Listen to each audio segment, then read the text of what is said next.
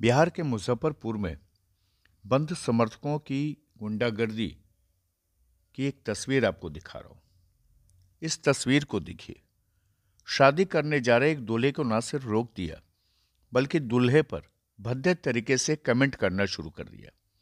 इतना ही नहीं, दूल्हे के साथ बदतमीजी करने के बाद राहगीरों को भी पीटा।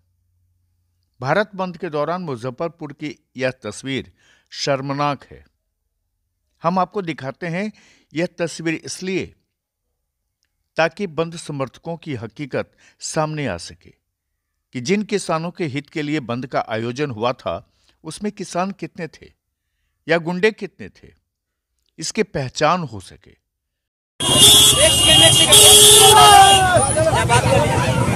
दूल्हे का चेहरा सुहाना लगता है। दुल्हन का तो दिल दीवाना लगता है।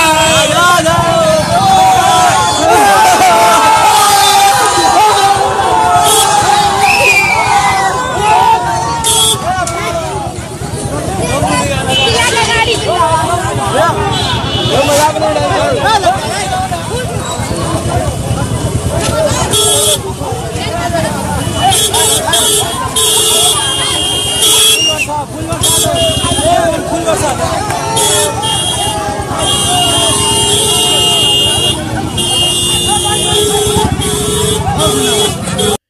वीडियो को तेजस्वी यादव को देखना चाहिए ताकि समझ आ जाए कि बिहार की जनता ने उनको गद्दी क्यों नहीं दी।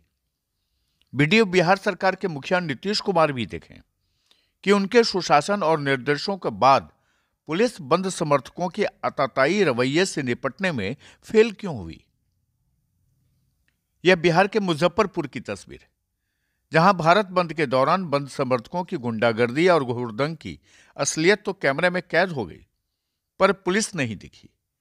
इस वीडियो के देखकर आपको गुस्सा आएगा। साथ ही पुलिस की निष्क्रियता पर मन में सवाल भी। वीडियो मुजफ्फरपुर शहर के काजी मोहम्मदपुर थाना क्षेत्र के माड़ीपुर की है, जहाँ बंद समर्थकों ने न सिर्फ़ शादी करने जा रहे दूल्हे के साथ बदतमीजी की, बल्कि राहगीरों के साथ मारपीट भी की। इस दौरान समर्थक के नाम पर हुड़दंगी लड़के अपने जुनून में मारपीट करने पर आमदा रहे। दरअसल फूलों से सजी हुई गाड़ी पर दूल्हा बैठकर शादी करने जा रहा था। तभी बंद समर्थकों ने न केवल गाड़ी को रुकवा दिया, बल्कि बंद में शामिल लड़के डंडा लेकर दूल्हे के साथ गुंडागर्दी करते रहे। इस दौरान सजी हुई गाड़ी के फूल माला भी उजाड़ दिए गए और गाना गाकर फोहरता से कमेंट पास करते रहे। इन हुरदंगियों ने बाइक सवार राहगीर के साथ भी बदतमीजी की। इतना ही नहीं, बंद में शामिल एक युवक ने बाइक सवार युवक को तमाचा भी जड़ दिया।